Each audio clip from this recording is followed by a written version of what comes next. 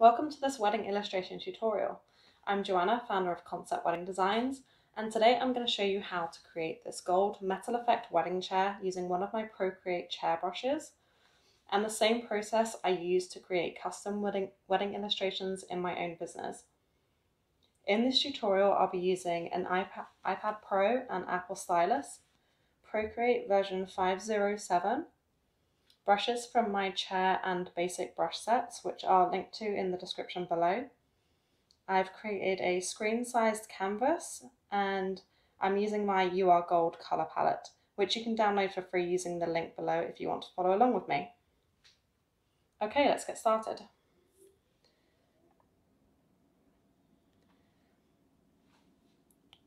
So the first thing we're going to do is create a new layer by tapping on the layers icon and the plus button.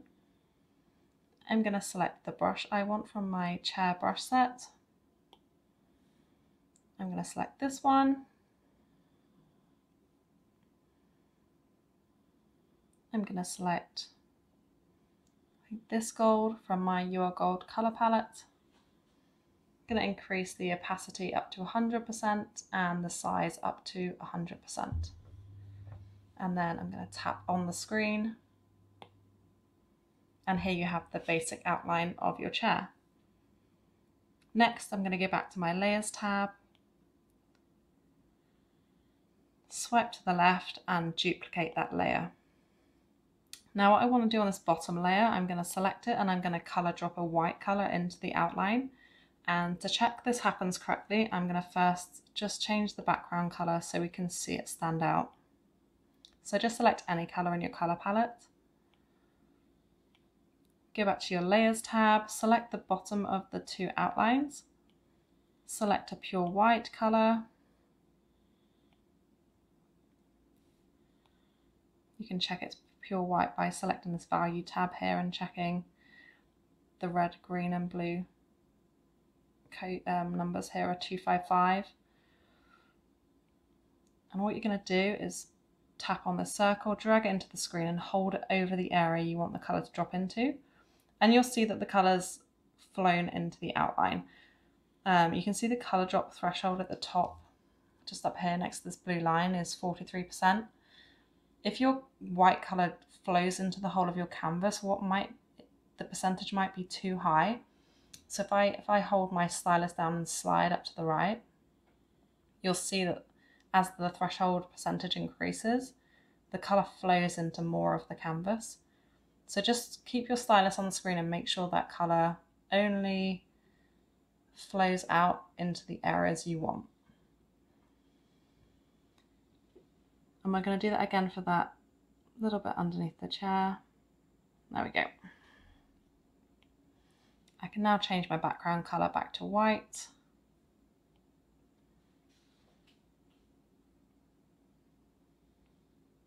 Next what we want to do is add a new layer, tap on that layer and set it as a clipping mask. You'll see that black arrow occur there.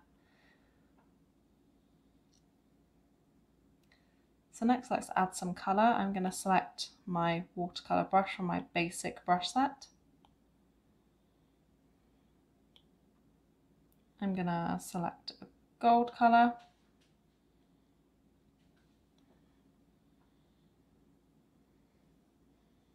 increase that brush size and then I'm just going to sweep the brush over the whole of the chair. You don't need to be too accurate with this, just make sure it's all covered.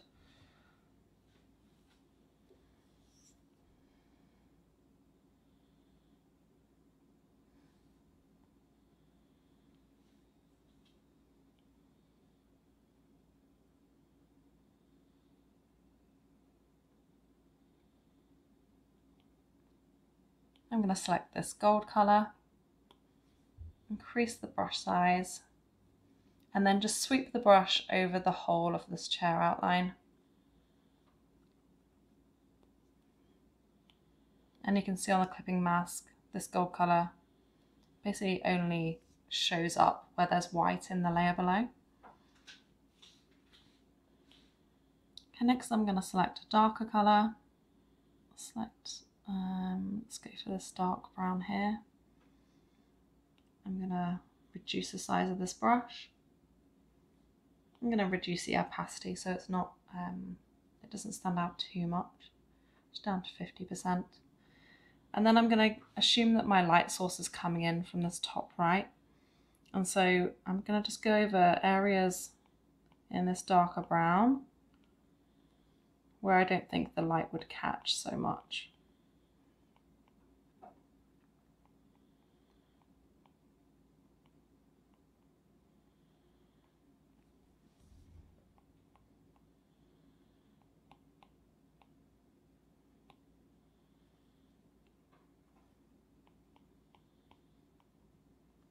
You don't have to be too accurate with this. For now, we're just putting colour down. And you'll see once we start using the smudge brush, how it all comes together. And you can be as quick and loose as you like, or you can spend some time on this and make it look really realistic.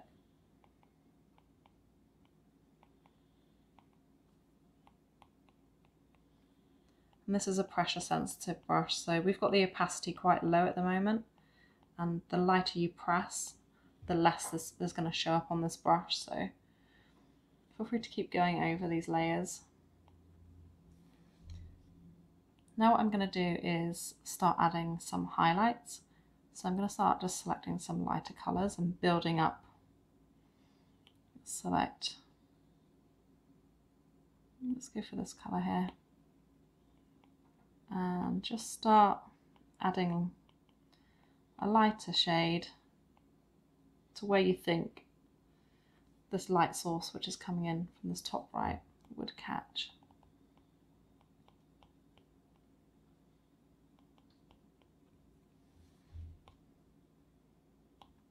Let's bring this opacity up so it stands out a little bit more.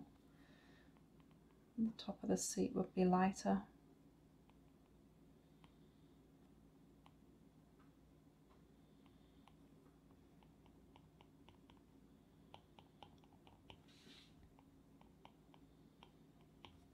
And again, you don't need to worry about staying in the lines. Your clipping mask will allow you to just colour it on the areas and it will only show up on this chair outline. Let's add even more highlights just to make this really pop.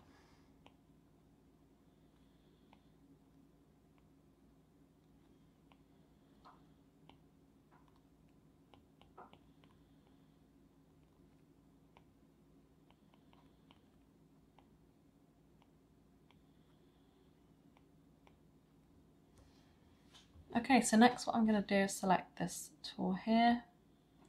And in my basic brush set, I'm going to select the wet smudge tool. Let's increase the size up to about 5%. And then what I'm going to do, tapping and dragging my stylus along the screen, is just start smudging these darker tones with the mid-tones, mid-tones with the lighter tones kind of gives that smooth feel.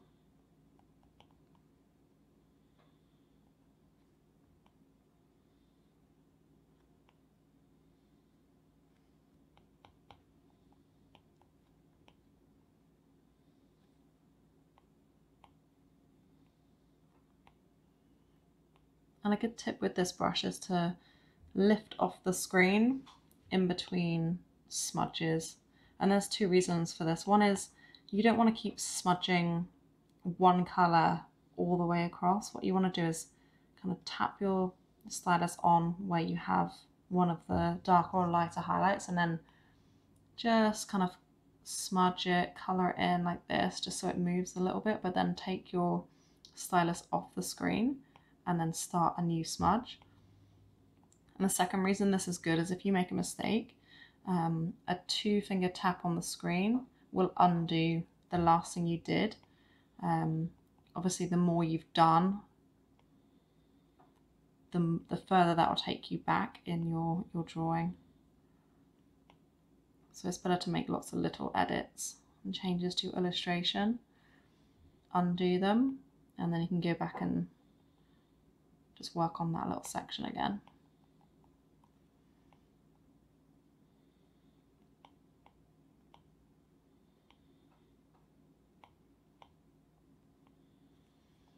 Okay, so you can see how it's all coming together now. We're starting to get that look of light hitting this metal chair. And again, you can you can keep going over this over and over again to kind of make these highlights really stand out. But for today, I'm just going to show you this quick version. So the next thing I'm going to do is go in and select a very light kind of cream colour.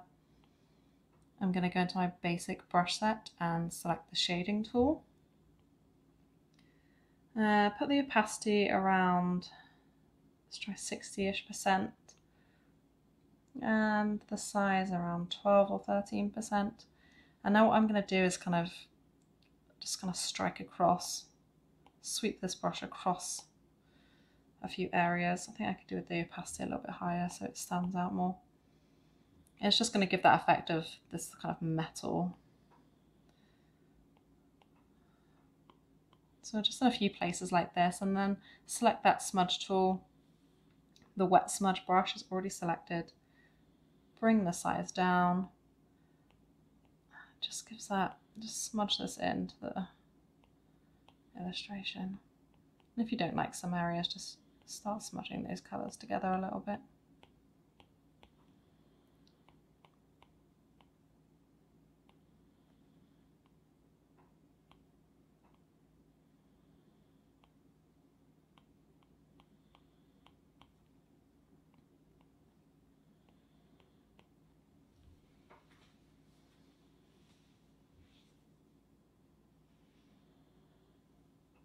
Okay, so I'm happy with this for now. Um, I think if I was showing this to a client, I would work on these highlights a little bit more. Um, but it gives you a good example of how I'm how I'm working through this process. So a stylistic option, if you like, is to work on this top layer here. So this outline, if I toggle this on and off, you'll see the outline just pop or hide and you might just decide you like it on or off. Um, you might decide that you want this to stand out a little bit more and maybe you go for the black outline or a darker brown outline. And an easy way to do this is to select that layer, find a colour you want to work with. I'm going to go up here to your magic wand, select recolor, and it's going to bring this crosshair up. And what you want to do is move that crosshair onto the outline it's quite fiddly, but you can see how this color has now changed to dark brown. And then if I go back into my color palette and select disc, as I move this around the color palette, you'll see it be it picking different colors. And you can kind of work on a look you like. You know, some people like this dark outline. Might want to go with something a bit more subtle. Something really different like pure white on the outside. I think I'll stick with something around there. Now what I'm going to do is group these together. I'm just going to swipe right on those three layers, select group, rename this to chair, not hair, and then I can minimize it. So a good thing with this is um, this technique you, you can use on many, many different gold chairs or really anything that has a gold metal effect. Um, so for example, here's some items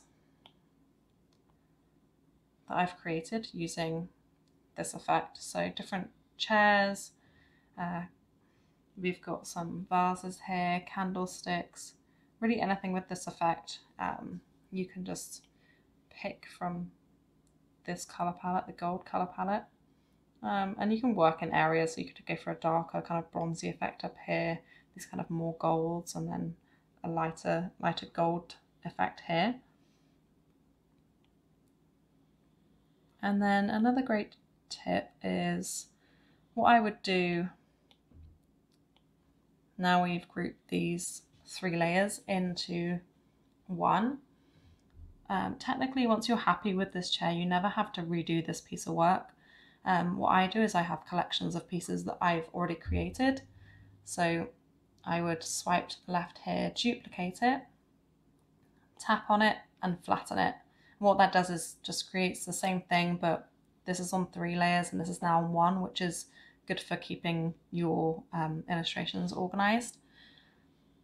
And what I could do, for example, is tap on this, drag it into the screen and you'll see this green plus appear. Go into my gallery, a design that maybe I already have started, and just drop it into there. Use it with this uh, arrow selected, you'll see this outline and with it set to uniform, which means as you resize it, it will stay in proportion.